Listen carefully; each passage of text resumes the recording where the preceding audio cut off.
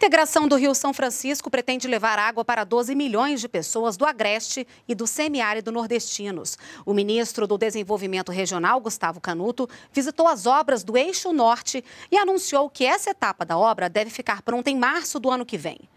Segundo o Ministério do Desenvolvimento Regional, o Nordeste é uma prioridade para o governo do presidente Jair Bolsonaro. No primeiro semestre deste ano, foram destinados cerca de 50% dos recursos da pasta para ações e obras que promovam o desenvolvimento da região.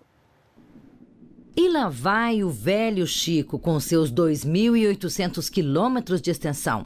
O Rio Verde-Amarelo totalmente brasileiro, nasce em Minas Gerais, atravessa a Bahia, chega em Pernambuco e deságua no Oceano Atlântico, na divisa entre Sergipe e Alagoas. Mas esse curso original foi alterado para levar água ao semiárido brasileiro. O projeto foi lançado em 2007. A obra foi dividida em dois eixos. O eixo leste, já totalmente construído e operando desde 2017, abastece as regiões do agreste de Pernambuco e da Paraíba. O eixo norte, com 97% das obras concluídas, entrou em pré-operação no ano passado. A água passa pelo sertão de Pernambuco até chegar no Ceará.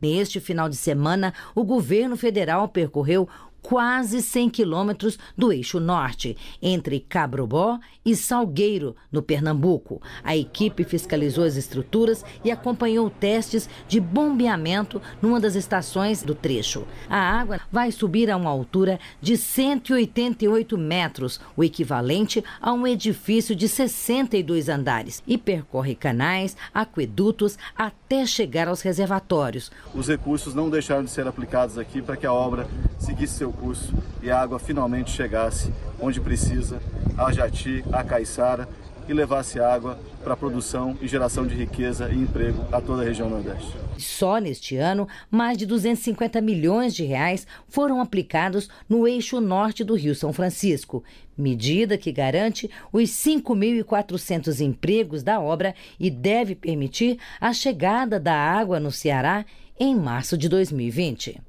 Hoje realizo um sonho do meu avô, onde beneficiará 12 milhões de pessoas, que vai levar água a quem tem sede.